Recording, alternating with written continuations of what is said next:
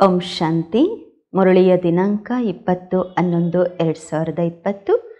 ಪ್ರಾತಃ ಮುರಳಿ, ಬಾಪ್ದಾದ ಮಧುಬನ. ತಂದೆ ತಿಳಿಸುತ್ತಾರೆ, ಮಧುರ ಮಕ್ಕಳೇ, ನೀವೀಗ ದಡದಲ್ಲಿ ನಿಂತಿದ್ದೀರಾ? ಈಗ ಈ ತೀರದಿಂದ ಆ ತೀರಕ್ಕೆ ಹೋಗಬೇಕಾಗಿದೆ. ಮನೆಗೆ ಹೋಗುವ ತಯಾರಿ ಮಾಡಿಕೊಳ್ಳಬೇಕಾಗಿದೆ. ಪ್ರಶ್ನೆ. ಯಾವ ಒಂದು ಮಾತನ್ನು ನೆನಪಿಟ್ಟುಕೊಂಡಾಗ ಸ್ಥಿತಿ ಅಚಲ ಅಡೋಲವಾಗುವುದು. ಉತ್ತರ, ಫಾಸ್ಟ್ ಈಸ್ ಫಾಸ್ಟ್ ಅಂದರೆ ಕಳೆದಿದ್ದು ಕಳೆದು ಹೋಯಿತು. ಕಳೆದುದರ ಚಿಂತನೆ ಮಾಡಬಾರದು. ಮುಂದುವರಿಯುತ್ತಾ ಹೋಗಬೇಕಾಗಿದೆ. ಸದಾ ಒಬ್ಬ ತಂದೆಯ ಕಡೆ ನೋಡುತ್ತಾ ಇರಿ. ಆಗ ಸ್ಥಿತಿ ಅಚಲ ಅಡೋಲವಾಗುವುದು. ನೀವೀಗ ಕಲಿಯುಗದ ಎಲ್ಲೆಯನ್ನು ದಾಟಿದ್ದೀರಾ? ಮತ್ತೆ ಹಿಂದಕ್ಕೆ ಏಕೆ ನೋಡುತ್ತೀರಾ? ಅದರಲ್ಲಿ ಸ್ವಲ್ಪವೂ ಬುದ್ಧಿ ಹೋಗಬಾರದು. ಇದೇ ಸೂಕ್ಷ್ಮ ಬುದ್ಧಿಯಾಗಿದೆ. ಓಂ ಶಾಂತಿ. ದಿನಗಳು ಬದಲಾಗುತ್ತಾ ಹೋಗುತ್ತಿವೆ. ಸಮಯ ಕಳೆಯುತ್ತಾ ಹೋಗುತ್ತಿದೆ. ವಿಚಾರ ಮಾಡಿ. ಸತ್ಯಯುಗದಿಂದ ಹಿಡಿದು ಸಮಯ ಕಳೆಯುತ್ತಾ ಕಳೆಯುತ್ತಾ ಈಗ ಕಲಿಯುಗದ ಕೊನೆಯಲ್ಲಿ ಬಂದು ನಿಂತಿದ್ದೀರಾ? ಈ ಸತ್ಯಯುಗ, ತ್ರೇತ, ದ್ವಾಪರ ಕಲಿಯುಗದ ಚಕ್ರವೂ ಸಹ ಒಂದು ಮಾದರಿಯಾಗಿದೆ.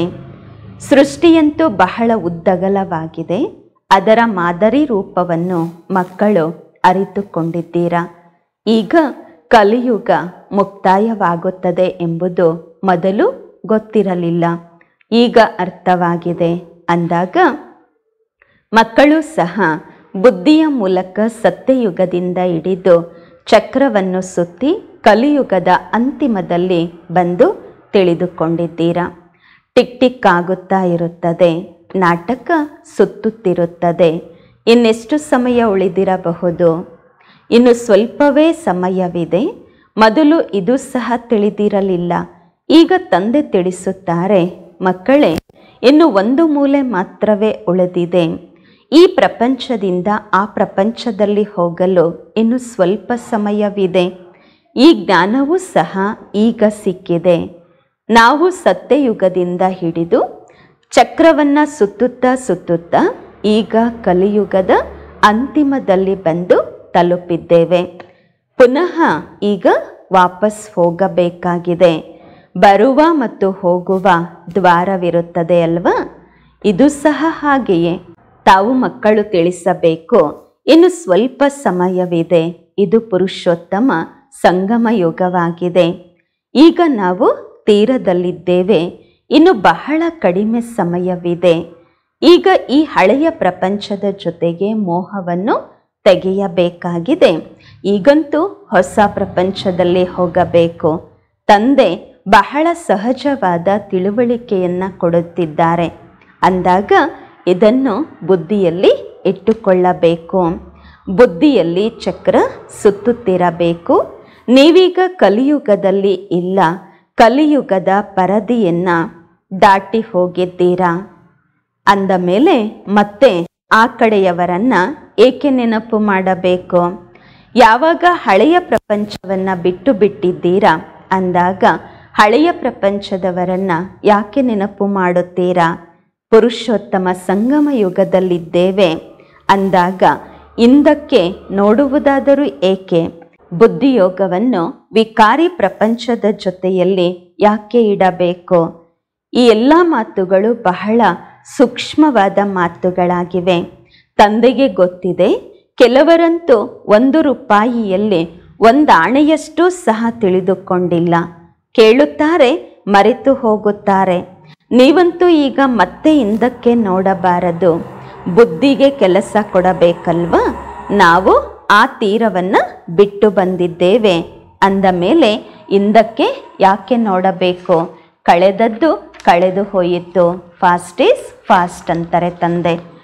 ತಂದೆ ಎಷ್ಟು ಆಳವಾದ ಮಾತುಗಳನ್ನು ತಿಳಿಸುತ್ತಾರೆ. ಆದರೂ ಸಹ ಮಕ್ಕಳ ತಲೆ ಹಿಂದಕ್ಕೆ ಯಾಕೆ ತಿರುಗುತ್ತದೆ? ಕಲಿಯುಗದ ಕಡೆಯ ಸಿಕ್ಕಿ ಹಾಕಿಕೊಂಡಿದೆ.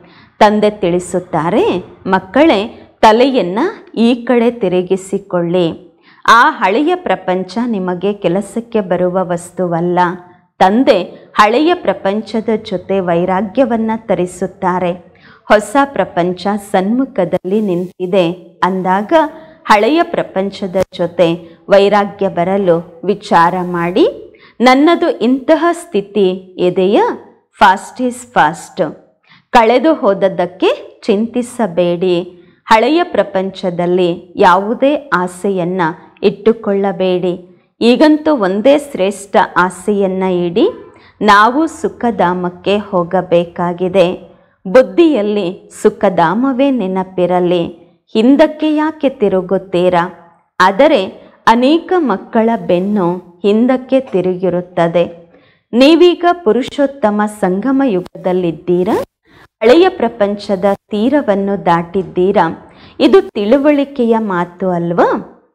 ಎಲ್ಲಿಯೂ ನಿಲ್ಲಬೇಡಿ, ಎಲ್ಲಿಯೂ ನೋಡಬೇಡಿ, ಕಳೆದದ್ದನ್ನು ನೆನಪು ಮಾಡಿಕೊಳ್ಳಬೇಡಿ, ಮುನ್ನಡೆಯುತ್ತಾ ಹೋಗಿರಿ, ಹಿಂದಕ್ಕೆ ನೋಡಬೇಡಿ, ಒಂದು ಕಡೆಯೇ ನೋಡುತ್ತಾ ಇರಿ, ಆಗಲೇ ನಿಮ್ಮ ಸ್ಥಿತಿ ಅಚಲ, ಅಡೋಲ, ಸ್ಥಿರವಾಗಿರಲು ಸಾಧ್ಯ.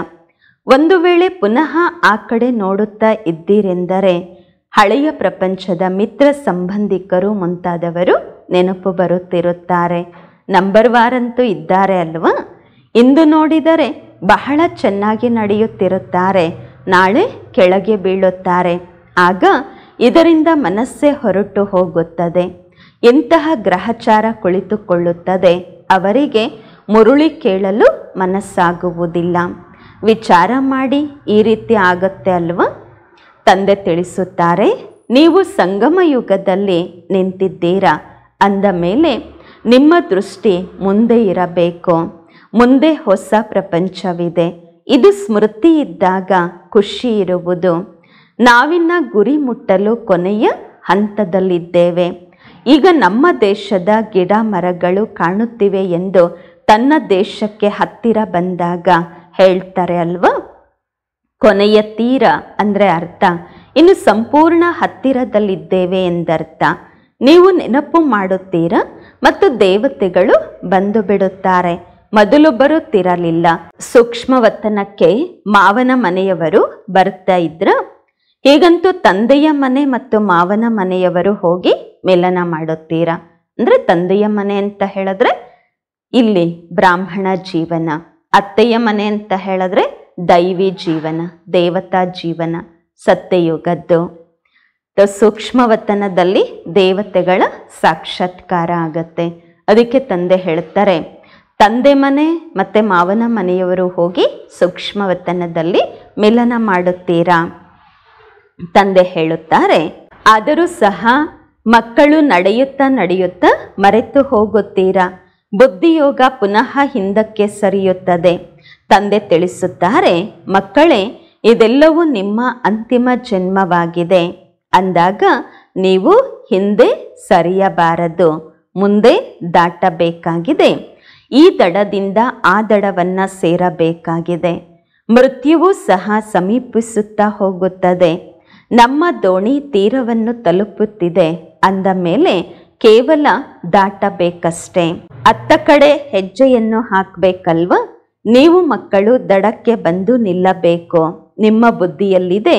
ಆತ್ಮರು ತಮ್ಮ ಮಧುರ ಮನೆಗೆ ಹೋಗುತ್ತೀರಾ? ಈ ನೆನಪಿರುವುದರಿಂದಲೂ ಸಹ ಖುಷಿ ನಿಮ್ಮನ್ನು ಅಚಲ ಅಡೋಲರನ್ನಾಗಿ ಮಾಡುತ್ತದೆ. ಇದೇ ವಿಚಾರ ಸಾಗರ ಮಂಥನ ಮಾಡುತ್ತಿರಬೇಕು. ಇದು ಬುದ್ಧಿಯ ಮಾತಾಗಿದೆ. ನಾವು ಆತ್ಮರು ಹೋಗುತ್ತಿದ್ದೇವೆ. ಇನ್ನು ಗುರಿಗೆ ಬಹಳ ಸಮೀಪದಲ್ಲಿದ್ದೇವೆ. ಇನ್ನು ಸ್ವಲ್ಪವೇ ಸಮಯವಿದೆ. ಇದಕ್ಕೆ ನೆನಪಿನ ಯಾತ್ರೆ ಎಂದು ಹೇಳಲಾಗುತ್ತದೆ. ಆದರೆ ಮಕ್ಕಳು ಇದನ್ನು ಮರೆತು ಹೋಗುತ್ತಾರೆ. ಚಾರ್ಟ್ ಬರೆಯುವುದನ್ನು ಮರೆತು ಬಿಡುತ್ತಾರೆ. ತಮ್ಮ ಹೃದಯದ ಮೇಲೆ ಕೈಯಿಟ್ಟು ನೋಡಿಕೊಳ್ಳಿ. ತಮ್ಮನ್ನು ತಾವು, ನಾವು ಕೊನೆಯ ತೀರದಲ್ಲಿ ಇದ್ದೇವೆ ಎಂದು ತಿಳಿಯಿರಿ ಎಂದು ತಂದೆ, ಏನನ್ನು ತಿಳಿಸುತ್ತಿದ್ದಾರೆಯೋ ನಮ್ಮದು ಆ ಸ್ಥಿತಿ ಇದೆಯಾ? ಬುದ್ಧಿಯಲ್ಲಿ ಒಬ್ಬ ತಂದೆಯ ನೆನಪೇ ಇರಬೇಕು. ತಂದೆ, ನೆನಪಿನ ಯಾತ್ರೆಯನ್ನು ಭಿನ್ನ ಭಿನ್ನ ಪ್ರಕಾರದಿಂದ ಕಲಿಸುತ್ತಿರುತ್ತಾರೆ. ಈ ನೆನಪಿನ ಯಾತ್ರೆಯಲ್ಲಿಯೇ ಮಸ್ತರಾಗಿರಬೇಕು. ನಾವಿನ್ನು ಹೋಗಬೇಕಾಗಿದೆ. ಇಲ್ಲಿರುವುದೆಲ್ಲವೂ ಸುಳ್ಳು ಸಂಬಂಧಗಳಾಗಿವೆ. ಸತ್ಯಯುಗದ ಸಂಬಂಧ ಸತ್ಯ ಸಂಬಂಧವಾಗಿದೆ. ತಮ್ಮನ್ನು ತಾವು ನೋಡಿಕೊಳ್ಳಿ, ನಾವು ಎಲ್ಲಿ ನಿಂತಿದ್ದೇವೆ? ಸತ್ಯಯುಗದಿಂದ ಹಿಡಿದು ಬುದ್ಧಿಯಲ್ಲಿ ಈ ಚಕ್ರವನ್ನು ನೆನಪು ಮಾಡಿಕೊಳ್ಳಿ. ನೀವು ಸ್ವದರ್ಶನ ಚಕ್ರಧಾರಿಗಳಲ್ವ? ಸತ್ಯಯುಗದಿಂದ ಹಿಡಿದು ಚಕ್ರವನ್ನು ಸುತ್ತಿ ಬಂದು ಕೊನೆಯಲ್ಲಿ ನಿಂತಿದ್ದೀರಾ? ಅಂದ ಮೇಲೆ, ಇದು ತೀರವಾಯಿತು ಅಲ್ವಾ? ಕೆಲವರಂತೂ ತಮ್ಮ ಸಮಯವನ್ನು ಬಹಳ ವ್ಯರ್ಥವಾಗಿ ಕಳೆಯುತ್ತಿರುತ್ತಾರೆ. ಐದು ನಿಮಿಷ, ಹತ್ತು ನಿಮಿಷಗಳು ಸಹ ನೆನಪಿನಲ್ಲಿರುವುದು ಬಹಳ ಕಷ್ಟ. ಇಡೀ ದಿನ ಸ್ವದರ್ಶನ ಚಕ್ರಧಾರಿಗಳಾಗಿರಬೇಕೆಂದಲ್ಲ? ತಂದೆ ಭಿನ್ನ ಭಿನ್ನ ಪ್ರಕಾರದಿಂದ ತಿಳಿಸುತ್ತಾರೆ. ಇದು ಆತ್ಮನ ಮಾತಾಗಿದೆ. ನಿಮ್ಮ ಬುದ್ಧಿಯಲ್ಲಿ ಚಕ್ರ ಸುತ್ತುತ್ತಿರುತ್ತದೆ. ಅಂದ ಮೇಲೆ ಬುದ್ಧಿಯಲ್ಲಿ, ಈ ನೆನಪು ಯಾಕೆ ಇರಬಾರದು? ನಾವೀಗ ತೀರದಲ್ಲಿ ನಿಂತಿದ್ದೇವೆ ಅಂದಾಗ ಬುದ್ಧಿಯಲ್ಲಿ ಈ ತೀರ ನೆನಪಿರುವುದಿಲ್ಲ. ಯಾವಾಗ ನಾವು ಪುರುಷೋತ್ತಮರಾಗುತ್ತೇವೆಂದು ನಿಮಗೆ ತಿಳಿದಿದೆ ಅಂದಾಗ, ಹೋಗಿ ಬುದ್ಧಿಯಿಂದ ತೀರದಲ್ಲಿ ನಿಂತೀರಿ. ನಿಧಾನವಾಗಿ ನಡೆಯುತ್ತಲೇ ಇರಿ. ಆದರೆ ಈ ಅಭ್ಯಾಸವನ್ನ ಯಾಕೆ ಮಾಡುವುದಿಲ್ಲ? ಚಕ್ರ ಬುದ್ಧಿಯಲ್ಲಿ ಯಾಕೆ ಬರುವುದಿಲ್ಲ? ಇದು ಸ್ವದರ್ಶನ ಚಕ್ರ ಅಲ್ವ? ತಂದೆ ಆರಂಭದಿಂದ ಹಿಡಿದು ಪೂರ್ತಿ ಚಕ್ರದ ಬಗ್ಗೆ ತಿಳಿಸುತ್ತಿರುತ್ತಾರೆ. ನಿಮ್ಮ ಬುದ್ಧಿ ಪೂರ್ತಿ ಚಕ್ರವನ್ನು ಸುತ್ತಿ ಬಂದು ಕೊನೆಯಲ್ಲಿ ನಿಲ್ಲಬೇಕು. ಮತ್ಯಾವುದೇ ಹೊರಗಿನ ಜಂಜಾಟದ ವಾತಾವರಣ ಇರಬಾರದು. ದಿನ ಪ್ರತಿದಿನ ನೀವು ಮಕ್ಕಳು ಶಾಂತಿಯಲ್ಲಿಯೇ ಇರಬೇಕಾಗಿದೆ. ಸಮಯವನ್ನು ವ್ಯರ್ಥವಾಗಿ ಕಳೆಯಬಾರದು. ಹಳೆಯ ಪ್ರಪಂಚವನ್ನು ಬಿಟ್ಟು ಹೊಸ ಸಂಬಂಧದೊಂದಿಗೆ ತಮ್ಮ ಬುದ್ಧಿಯೋಗವನ್ನು ಇಡಬೇಕು. ಯೋಗ ಮಾಡದಿದ್ದರೆ ಪಾಪ ಹೇಗೆ ಕಳೆಯುತ್ತದೆ? ನಿಮಗೆ ಗೊತ್ತಿದೆ, ಈ ಪ್ರಪಂಚವೇ ಸಮಾಪ್ತಿಯಾಗಲಿದೆ. ಇದರ ಮಾದರಿ ಎಷ್ಟು ಚಿಕ್ಕದಾಗಿದೆ. ಇದು ಐದು ಸಾವಿರ ವರ್ಷಗಳ ಪ್ರಪಂಚವಾಗಿದೆ. ಅಜ್ಮೀರ್ನಲ್ಲಿ ಸ್ವರ್ಗದ ಮಾಡೆಲ್ ಇದೆ ಆದರೆ ಸ್ವರ್ಗ ಯಾರಿಗಾದರೂ ನೆನಪಿಗೆ ಬರುತ್ತದೆಯಾ? ಸ್ವರ್ಗ ಅಂದರೆ ಅವರಿಗೇನು ಗೊತ್ತು? ಸ್ವರ್ಗವಂತೂ ನಲವತ್ತು ಸಾವಿರ ವರ್ಷಗಳ ನಂತರ ಬರುತ್ತದೆ ಎಂದು ತಿಳಿಯುತ್ತಾರೆ. ತಂದೆ ತಾವು ಮಕ್ಕಳಿಗೆ ತಿಳಿಸುತ್ತಾರೆ, ಈ ಪ್ರಪಂಚದಲ್ಲಿ ಕೆಲಸ ಕಾರ್ಯಗಳನ್ನು ಮಾಡುತ್ತಾ ಬುದ್ಧಿಯಲ್ಲಿ ಇದನ್ನು ನೆನಪಿಟ್ಟುಕೊಳ್ಳಿ. ಈ ಪ್ರಪಂಚ ಸಮಾಪ್ತಿಯಾಗುವುದಿದೆ. ಈಗ ವಾಪಸ್ ಮನೆಗೆ ಹೋಗಬೇಕಾಗಿದೆ. ನಾವು ಕೊನೆಯಲ್ಲಿ ನಿಂತಿದ್ದೇವೆ. ಹೆಜ್ಜೆ ಹೆಜ್ಜೆಯು ನಿಧಾನವಾಗಿ ನಡೆಯುತ್ತದೆ. ಗುರಿ ಎಷ್ಟು ದೊಡ್ಡದಾಗಿದೆ. ತಂದೆಯಂತೂ ಗುರಿಯನ್ನ ತಿಳಿದುಕೊಂಡಿದ್ದಾರೆ ಅಲ್ವಾ? ತಂದೆಯ ಜೊತೆ ದಾದಾರವರು ಕೂಡ, ಬ್ರಹ್ಮ ಬಾಬಾರವರು ಕೂಡ ಇದ್ದಾರೆ. ಅವರು ತಿಳಿಸುತ್ತಾರೆ, ಅಂದಾಗ ಈ ಬ್ರಹ್ಮ ಬಾಬಾರವರು ತಿಳಿಸಲು ಸಾಧ್ಯವಿಲ್ಲ ಅಲ್ವಾ? ಇವರು ಸಹ ಕೇಳಿಸಿಕೊಳ್ಳುತ್ತಾರೆ. ಅಂದ ಮೇಲೆ, ಇದನ್ನು ವಿಚಾರ ಸಾಗರ ಮಂಥನ ಇವರು ಮಾಡೋದಿಲ್ವಾ? ತಂದೆ ನಿಮಗೆ ವಿಚಾರ ಸಾಗರ ಮಂಥನ ಮಾಡುವ ಯುಕ್ತಿಗಳನ್ನು ತಿಳಿಸುತ್ತಿರುತ್ತಾರೆ. ಈ ಎಲ್ಲ ಗುಹ್ಯ ಗುಹ್ಯ ಮಾತುಗಳನ್ನು ಧಾರಣೆ ಮಾಡಿಕೊಳ್ಳಬೇಕು.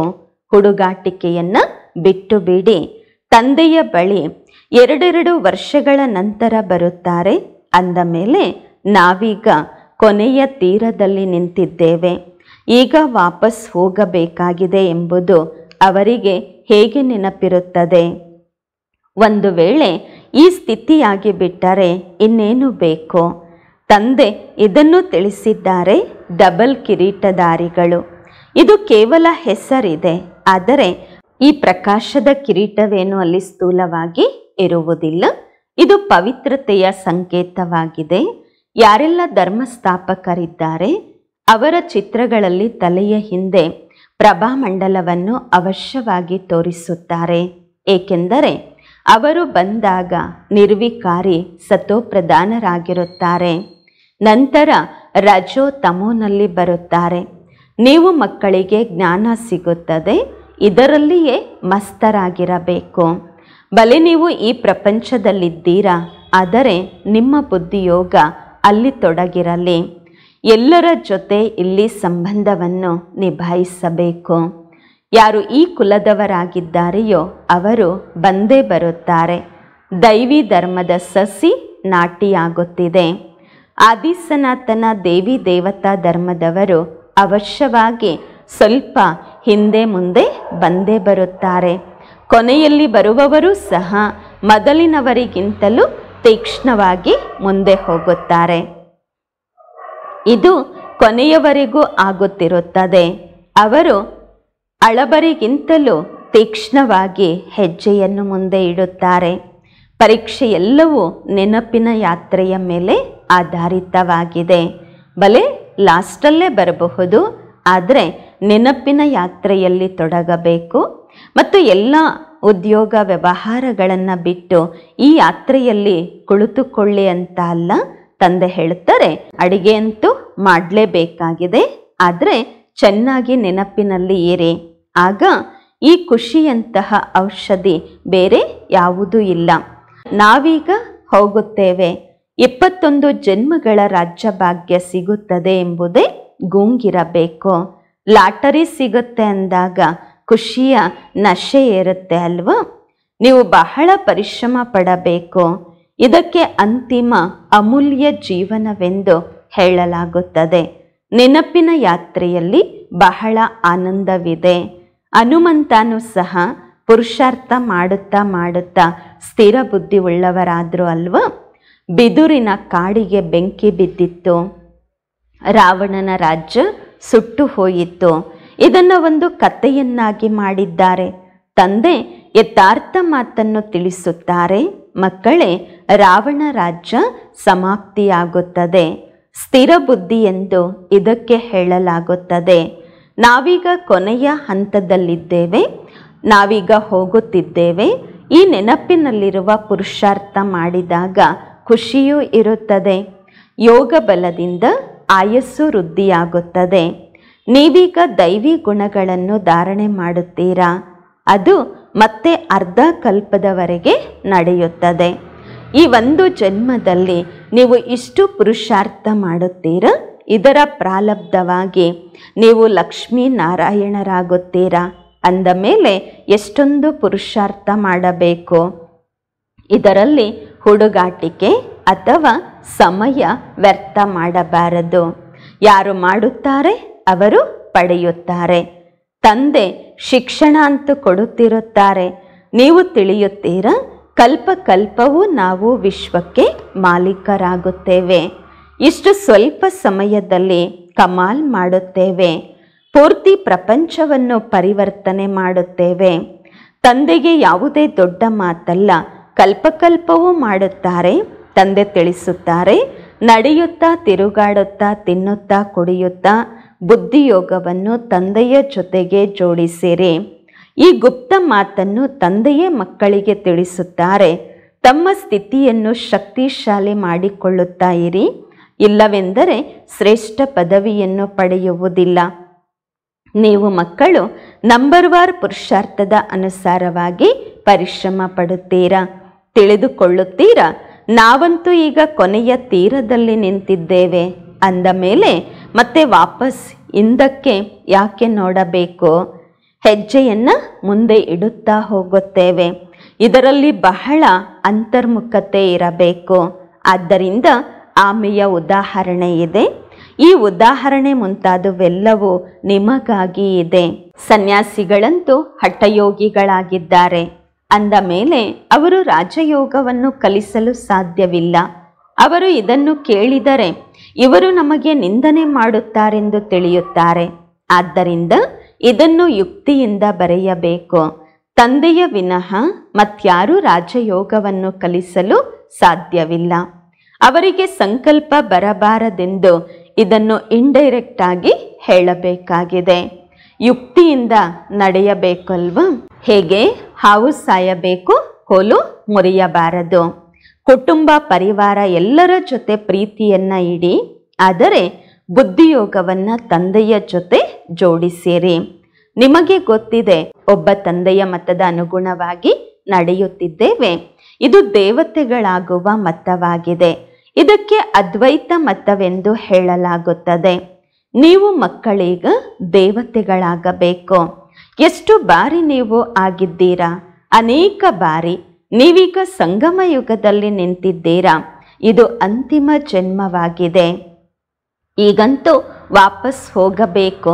ಕೊನೆಯಲ್ಲಿ ಏನಾಗುವುದೆಂದು ನೋಡುತ್ತೀರಾ? ನೋಡುತ್ತಿದ್ದರೂ ಸಹ ನೀವು ನಿಮ್ಮ ಅಡೋಲ ಸ್ಥಿತಿಯಲ್ಲಿ ನಿಲ್ಲಿರಿ. ತಮ್ಮ ಲಕ್ಷ್ಯವನ್ನು ಮರೆಯಬೇಡಿ. ನೀವೇ ಮಹಾವೀರರು, ಮಾಯೆಯ ಮೇಲೆ ವಿಜಯಿಗಳಾಗುತ್ತೀರಾ?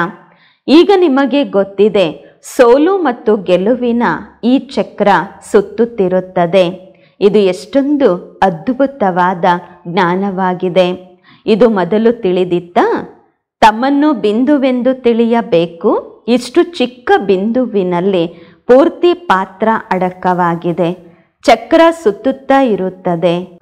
ಬಹಳ ಅದ್ಭುತವಾಗಿದೆ. ಅದ್ಭುತವೆಂದು ಹೇಳಿ ಬಿಡಲೇಬೇಕಾಗುತ್ತದೆ. ಒಳ್ಳೆಯದು ಮಧುರಾತಿ ಮಧುರ ಅಗಲಿ ಹೋಗಿ ಮರಳಿ ಸಿಕ್ಕಿರುವ ಮಕ್ಕಳ ಪ್ರತಿಯಾಗಿ ಮಾತ್ಪಿತಾ ಬಾಪ್ ದಾದಾರವರ ನೆನಪು, ಪ್ರೀತಿ ಹಾಗೂ ಬೆಳಗಿನ ವಂದನೆಗಳು. ಆತ್ಮಿಕ ಮಕ್ಕಳಿಗೆ ಆತ್ಮಿಕ ತಂದೆಯ ನಮಸ್ಕಾರಗಳು. ನಾವು ಆತ್ಮಿಕ ಮಕ್ಕಳಿಂದ ಆತ್ಮಿಕ ಮಾತ್ಪಿತಾ ಬಾಪ್ ದಾದಾರವರಿಗೆ ನೆನಪು, ಪ್ರೀತಿ, ಬೆಳಗಿನ ವಂದನೆಗಳು ಹಾಗೂ ನಮಸ್ಕಾರಗಳು. ಧಾರಣೆಗಾಗಿ ಮುಖ್ಯ ಸಾರ ಫಸ್ಟ್ ಪಾಯಿಂಟ್ ಆಗಿದೆ. ಎಂದು ಹಿಂದಕ್ಕೆ ನೋಡಬಾರದು. ಯಾವುದೇ ಮಾತಿನಲ್ಲಿ ನಿಲ್ಲಬಾರದು. ಒಬ್ಬ ತಂದೆಯ ಕಡೆ ನೋಡುತ್ತಾ ತಮ್ಮ ಸ್ಥಿತಿಯನ್ನು ಏಕರಸವಾಗಿಟ್ಟುಕೊಳ್ಳಬೇಕು.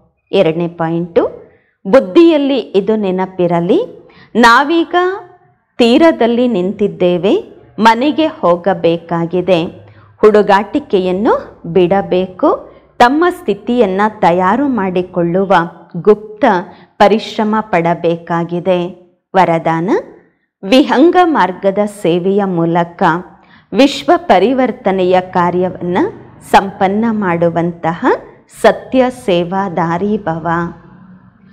ವರದಾನದ ವಿಶ್ಲೇಷಣೆ, ವಿಹಂಗ ಮಾರ್ಗದ ಸೇವೆ ಮಾಡಲು ಸಂಘಟಿತ ರೂಪದಲ್ಲಿ ರೂಪ್ ಮತ್ತು ಬಸಂತ್ ಈ ಎರಡು ಮಾತುಗಳ ಬ್ಯಾಲೆನ್ಸ್ನ ಅವಶ್ಯಕತೆ ಇದೆ.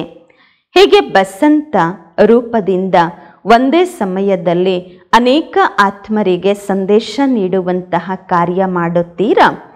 ಅದೇ ರೀತಿ ರೂಪ್ ಅಂದರೆ ಅರ್ಥ, ನೆನಪಿನ ಬಲದ ಮೂಲಕ, ಶ್ರೇಷ್ಠ ಸಂಕಲ್ಪಗಳ ಶಕ್ತಿಯ ಮೂಲಕ, ವಿಹಂಗ ಮಾರ್ಗದ ಸೇವೆ ಮಾಡಿರಿ. ಇದಕ್ಕೂ ಸಹ ಆವಿಷ್ಕಾರ ಮಾಡಿರಿ. ಜೊತೆ ಜೊತೆಗೆ ಸಂಘಟಿತ ರೂಪದಲ್ಲಿ ದೃಢ ಸಂಕಲ್ಪದಿಂದ ಹಳೆಯ ಸಂಸ್ಕಾರ, ಸ್ವಭಾವ ಹಾಗೂ ಹಳೆಯ ಚಲನೆಗೆ ಎಳ್ಳು ಹಾಗೂ ಹರಳನ್ನು ಯಜ್ಞದಲ್ಲಿ ಸ್ವಾಹ ಮಾಡಿರಿ.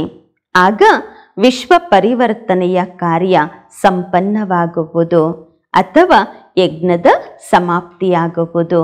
ಸ್ಲೋಗನ್, ಬಾಲಕ ಮತ್ತು ಮಾಲೀಕತನದ ಬ್ಯಾಲೆನ್ಸಿಂದ ಪ್ಲ್ಯಾನನ್ನು ಪ್ರಾಕ್ಟಿಕಲಲ್ಲಿ ತನ್ನಿರಿ. ಓಂ ಶಾಂತಿ.